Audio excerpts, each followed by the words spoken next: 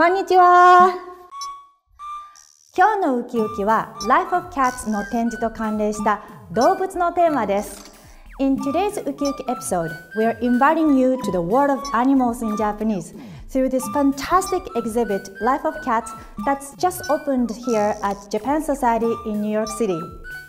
But before we begin, how many animals can you name in Japanese? For example, do you know how to say cats or dogs? Cool! But how about tigers or rats or even mythical creatures like dragons? These and so many more delightful animals appear throughout the beautiful ukiyo paintings in this exhibit.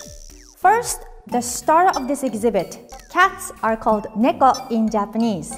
Depending on the color of the fur, there may be shironeko, kuroneko, or a combination of black and white, shirokuro.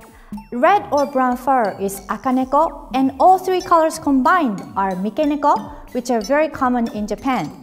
Sometimes some cats have a tiger-like pattern, so we call them toraneko. As many of you have probably seen, cats can be an auspicious character that invites good luck. The beckoning cat, also known as manekineko, usually have either the left paw or the right paw doing this. The right paw is believed to bring in more people or customers, and the left paw is supposed to bring in more money to the business. Just like us humans, each and every cat has a different personality and is unique.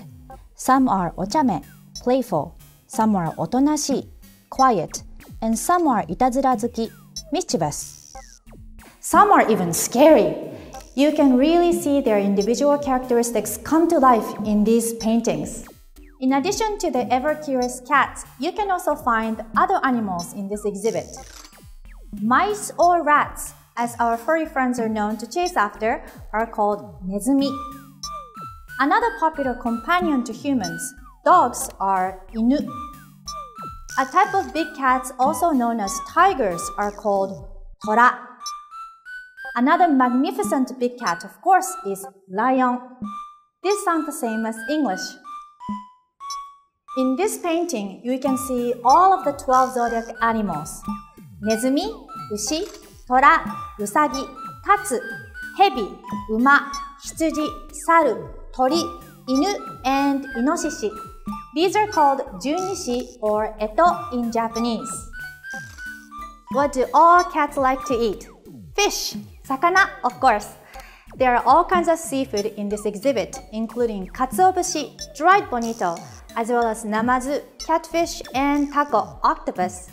If you live in or visit the New York metropolitan area, I highly recommend that you come check out the artwork and also enjoy discovering all kinds of animals here.